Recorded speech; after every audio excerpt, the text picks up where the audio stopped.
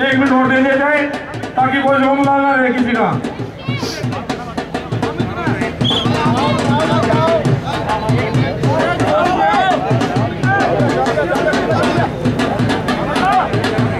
पहलवान से आगे पकड़ दे आप बताओ।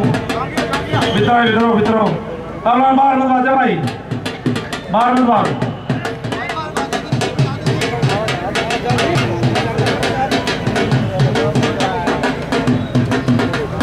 थोड़े साइड साइड में हो जाओ भाई।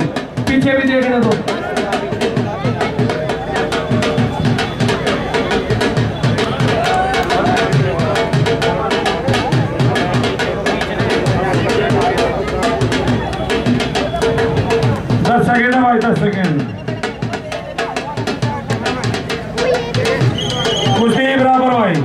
करो। जिस पहलवान के हाथ में लगे वो पहलवान अखाड़े के बीच में आ जाए। Amit